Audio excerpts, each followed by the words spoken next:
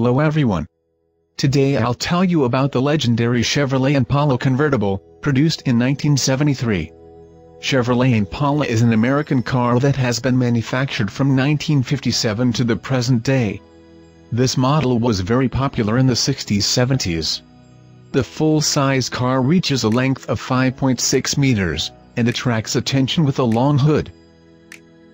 This car was equipped with a 390 horsepower gasoline 8-cylinder engine, had an automatic 3-speed gearbox, accelerated to 100 km per hour in 9 seconds and the maximum speed was 200 km per hour.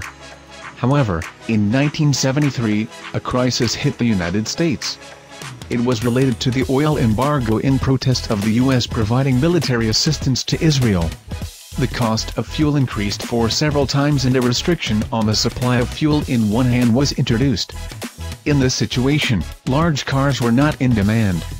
In this regard, car production fell from 1 million per year to a modest 100,000.